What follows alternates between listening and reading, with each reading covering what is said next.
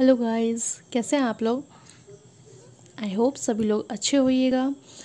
आज मैं आप लोगों के लिए लेकर के आई हूँ other ways to say actually इसका मतलब होता है वास्तव में। हम वास्तव में को इंग्लिश में और भी तरीके से बोल सकते हैं, वही मैं आप लोगों को इस वीडियो में बताने वाली हूँ। वो भी बहुत ही ईजी वे में बोल सकते हैं। फ़र्स्ट है हमारा really second in fact third indeed fourth in reality fifth है हमारा ट्रूली एंड लास्ट है हमारा लिटरली आप इस छः में से किसी भी वर्ड का यूज़ कर सकते हैं एक्चुअली के जगह पर. इजी आपका रियली हो गया ट्रूली हो गया. आई होप ये वीडियो आप लोगों को अच्छा लगेगा. Thank you